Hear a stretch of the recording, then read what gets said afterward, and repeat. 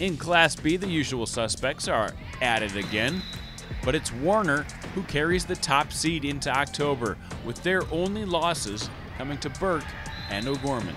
It's been an exciting season because uh, it seems like we've had some teams on there that are pretty challenging, and um, I think it's helped us grow a little bit and come to reality that there's always room to grow and get better as the season goes. It's a lot easier mid-season when we go through this. You know, usually teams go through a little bit of a slump, or my team does anyway, where it's like not as exciting anymore, but it's not quite the tournament, and it just seems like they come into the gym ready to go, and that's so beneficial to try to get things done. Um, we know like Chester as well is like they looked really good down at the Pentagon, and uh, they were without one of their players. So I think we have to make sure we're pretty balanced on offense so they can't maybe defend us quite as well.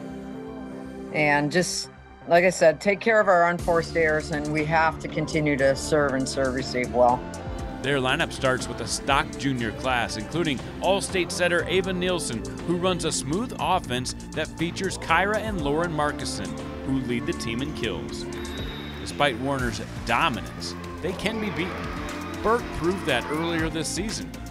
Colman-Egan, Woolsey Wessington, and others have been hanging tough all season, and as we all know, Northwestern and Chester area are always among the finalists at the end of the year.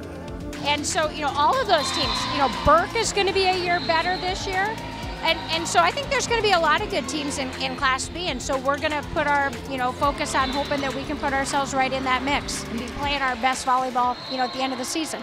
You know, I don't think these kids get a free pass because they're young. I think our community expects them to compete hard and and have a good season. And you know, I don't think the rest of the state's going to take it easy on us. So, uh, you know, it's just they're going to get thrown in the fire and see what we can do. Can't wait for a strong finish as we slide into postseason play in less than a month.